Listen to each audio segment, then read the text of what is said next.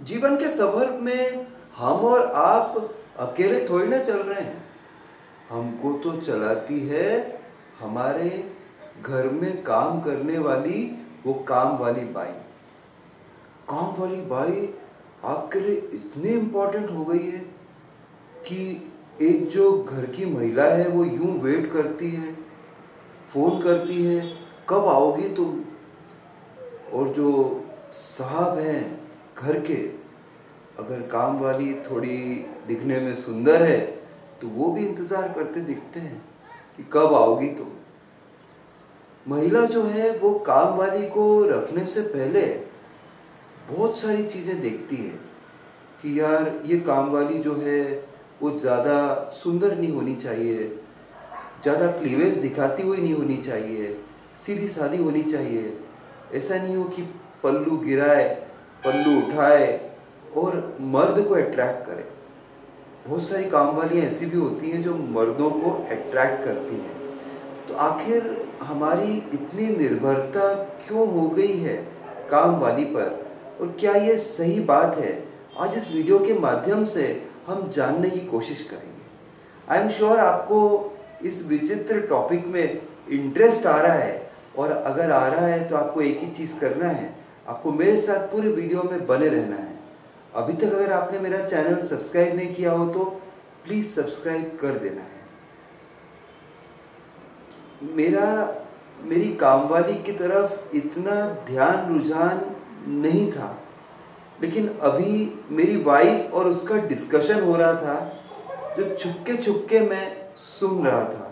सामने आके तो नहीं सुन सकता हूँ ना, नहीं तो वाइफ प्राण निकाल देगी।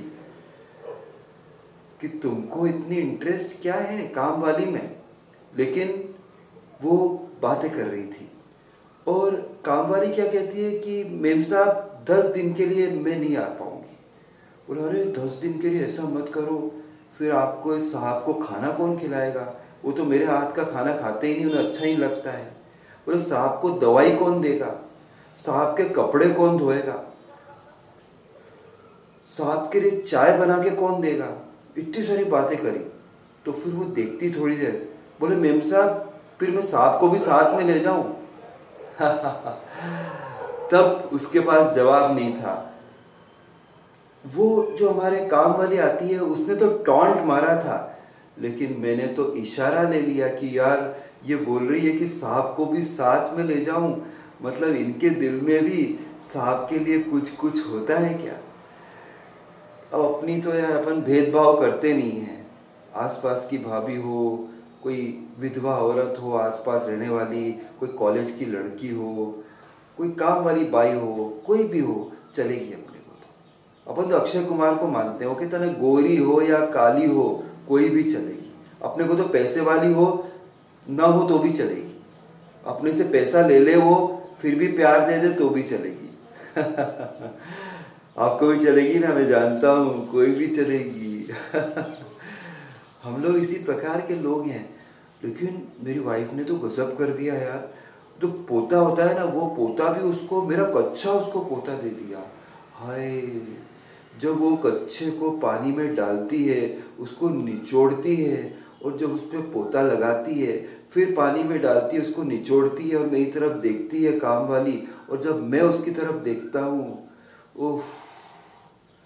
मुझे और उस कच्चे के नीचे का जो एरिया है, जिसको, कच्चा जिस भाग को ढकता है, मुझे और उस भाग को कुछ कुछ होने लगता है। लेकिन मैं आपको एक बात बताऊँ ना, सीरियस नोट की, हमें कभी भी काम वाली पे इतनी निर्भरता नहीं रखनी चाहिए। हमें अपने बच्चों को सिखाना चाहिए। हमें खुद भी सीखना चाहिए कि, बाय द वे, काम वाली नहीं आ रही है। कोई कारण हो गया है। काम वाली काम छोड़ के चली गई है तो हमें बिल्कुल हैंडीकैप्ड फील नहीं करना चाहिए। हमें तैयार होना चाहिए। आपको बर्तन मांजना आना चाहिए। आपको खाना बनाना आना चाहिए। आपको चाय बनाना, पोहे बनाना आना चाहिए। आपको ऑमलेट और मैगी बनाना आना चाहिए। मैगी बनाना तो आपको आता ही है, क्योंकि वो इतनी बुरी चीज़ है ना हेल्थ की आपको इजीली आती है। पर अच्छी अच्छी चीज़ें घर की साफ़ सफ़ाई करना भी आना चाहिए। कभी अच्छा मौका मिलता है कि आपकी वाइफ बाहर गई है और आपकी वाइफ को विश्वास ही नहीं है आप पर, इसलिए उसने काम वाली को बुलाया भी नहीं है। यह हो सकता है कि काम वाली खुद ही आपसे डरती है कि ये ये तो साहब बड़े कामुक टाइप के हैं, बड़े सेक्सी टाइप के हैं। पता नहीं कब हाथ धर ले, कब मुझे बिस्तर पे खींच ले खुद ही काम वाली को कॉन्फिडेंस नहीं है आप पे, और वो आ ही नहीं रही है। मेम साहब को बोला है कि हाँ मैं आऊँगी, पर फ़ोन करके बोला है कि नहीं, मैं आ नहीं सकती हूँ, कोई कारण बना दिया है। तो आपके पास अच्छा मौका है।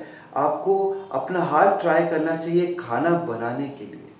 आपको ट्राई करना चाहिए कि घर में बिखरी हुई चीज़ों को कैसे आप संवार सकते हैं, कैसे आप घर को सुंदर रख सकते हैं। अगर आप सारी चीज़ें सब बिल्कुल बर्तन भी मांस लोगे और घर की सारी चीज़ें संभाल लोगे तो आपकी पत्नी आएगी, वो तो आपसे बहुत खुश हो जाएगी। और पत्नी से ज़्यादा खुश आपकी मेड यानी काम वाली हो जाएगी।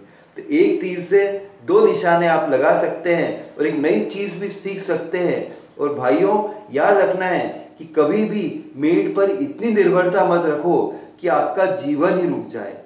लॉकडाउन पे टाइम पे क्या हुआ? मालूम है ना?